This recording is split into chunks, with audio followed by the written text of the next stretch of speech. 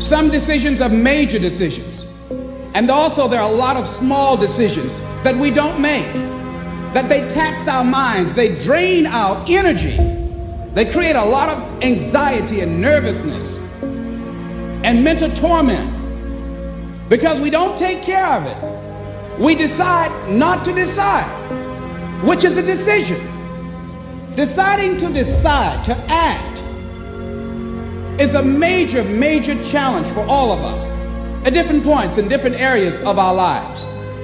And there are things that happen to us along the way, experiences that we have that prevent us from working through the mental block of acting, of doing those things that we know we ought to do. And so, what I want you to think about is what is there that you know you need to do, that you want to do this, but for some reason or another, you've been holding back. Why don't we take action? Fear. What do we got to do to get ourselves to do it? We got to make sure that we push ourselves through it by making a decision. The point in which change happens is a decision. Every change in your life that you want will come from something simple, a decision. A definite purpose must be accompanied by a definite plan for its attainment, followed by appropriate action. Now, you have to have a purpose, you have to have a plan, and you have to start putting that plan into action. If you think trying is risky, wait till they hand you the bill for not trying. If you think investing is risky, wait till you get the tab for not investing. See, it's all risky. Well, if that's the way it's going to work out, let's give it a go. Right, that's what it's for. Give it a go. Make a choice. Like, you just decide what it's going to be, who you're going to be, how you're going to do it. Just decide. This is what I believe, and I'm willing to die for it. Deepest fear is not that we are inadequate. Our deepest fear is that we are powerful beyond measure. The only thing is, if you're trying to get there, you cannot stop believing in any way. No matter what anybody says, no matter what anybody tells you, you have to know it beyond knowing it. It is a feeling.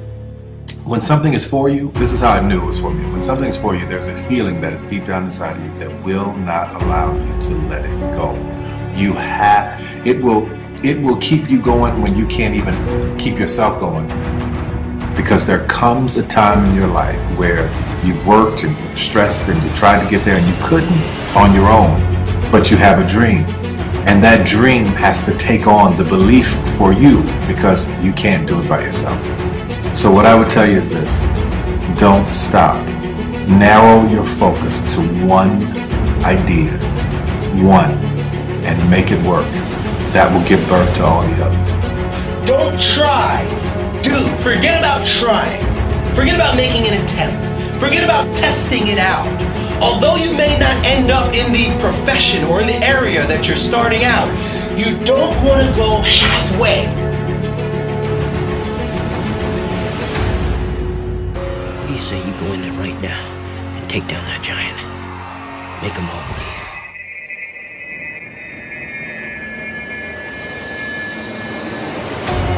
Listen to me, you got it. You have to eat the dream.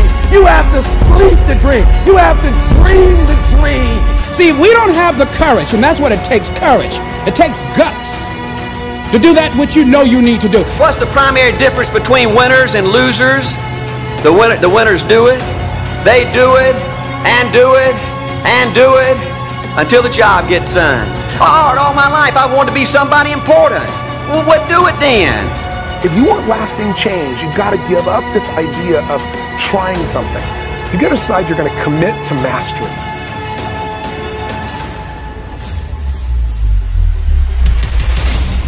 You don't want to just dip your toe in, you want to jump in hard. Do not try, do. Go hard. It requires a tremendous amount of courage. The way through the challenge is to get still and ask yourself what is the next right move.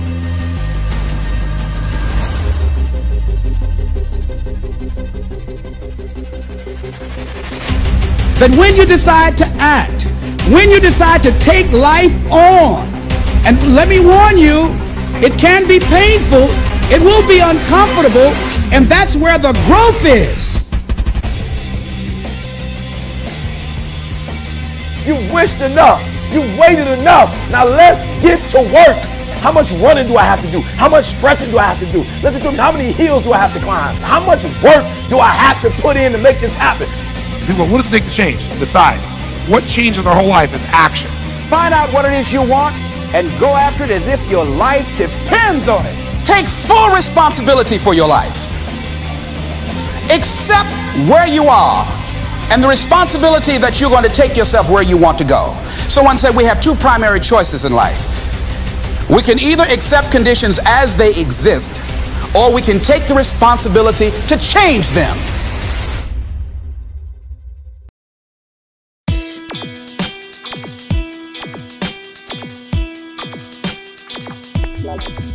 Wow.